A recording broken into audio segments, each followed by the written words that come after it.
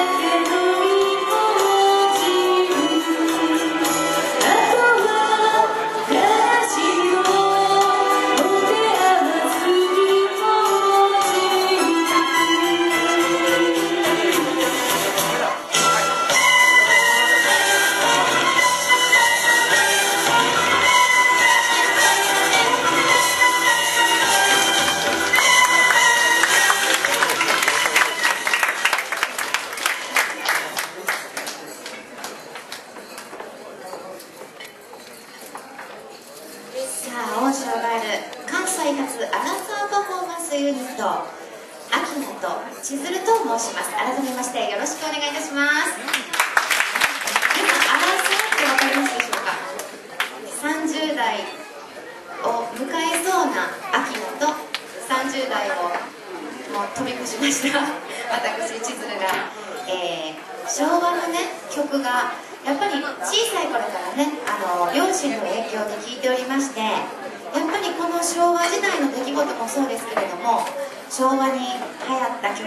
そして名曲たちを歌い語り継いでいきたいという思いで、えー、今は関東を中心に活動させていただいております。どんなに時が経ってもこの名曲たちというのは何十年経ってもやっぱりいい曲はいい曲でまたその年を迎えるごとにその歌の深みが出てくるのがやっぱり音楽の素晴らしさだと思いますのでこれからも一生懸命思いを込めて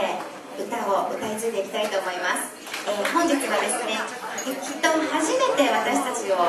えー、ご覧になられた方の方が多いと思いますので本日はお名前だけでも覚えていただきたいと思います。もう一度王将ガールと申します。あの王将ガールと覚えてください。王将の女子王将女子。王将ガールと覚えていただけたら嬉しいです。ということで、えー、後半になりますがまだまだ、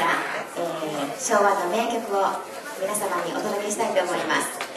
それではよろしくお願いします。